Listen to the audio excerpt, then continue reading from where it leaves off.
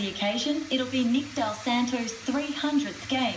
He was one of nine Roos to sit out round 23, a move he says has paid off. So I played 14 games, so technically I've, and I had the bye or rest a couple of weeks ago.